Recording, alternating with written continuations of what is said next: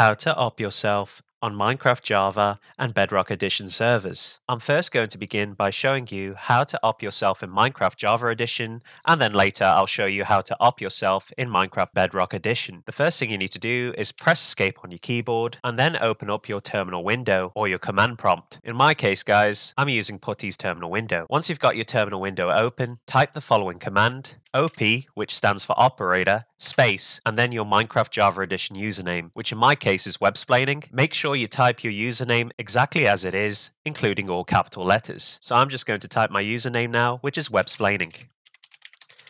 Once you've typed in OP space your username, hit enter on your keyboard. And as you can see guys, we get some feedback from the server which says made websplaining a server operator. We can now go back to our Minecraft launcher and click on back to game or press escape on our keyboard once again. And now if we type the letter T on our keyboard, you can see there is a message from the server saying server made websplaining a server operator, which is exactly what it says in our terminal window. Great, so now I'm going to show you how to op yourself in Minecraft Bedrock Edition.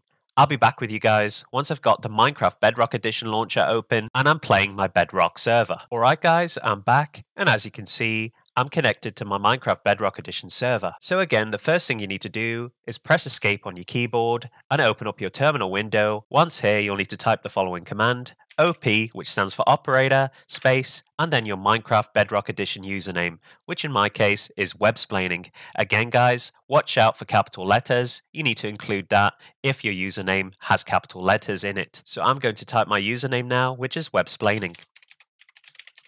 Once you've typed in OP space your username, hit enter on your keyboard. You'll then get feedback from the server which says opped and then your username, which in my case is websplaining. And now if I open up my Minecraft Bedrock Edition launcher, and if we look to the right hand side, you can now see I've got the icon for operator. And we can check this by left clicking on the icon on the pause screen at the top right hand corner here. And as you can see, my permission level is currently set to operator, which means we have successfully opped ourselves in our Minecraft server. And that pretty much concludes the video on how to op yourself on Minecraft Java and Bedrock Edition servers. If you enjoyed this video, be sure to give it a like, comment down below, and most importantly of all, subscribe to support the channel. I'll see you on the next video.